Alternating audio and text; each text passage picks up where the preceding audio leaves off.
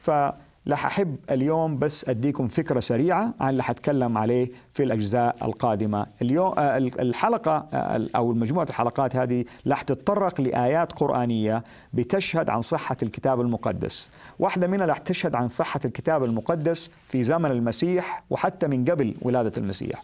وفي جزئية ثانية رح تتكلم عن صحة الكتاب المقدس ما بين فترة المسيح و مجيء النبي نبي الإسلام محمد. وبعدين في آيات رح نتطرق لها لها علاقة بشهاده القرآن في وقت نبي الإسلام وقت ما عاش نبي الإسلام عن صحة الكتاب المقدس.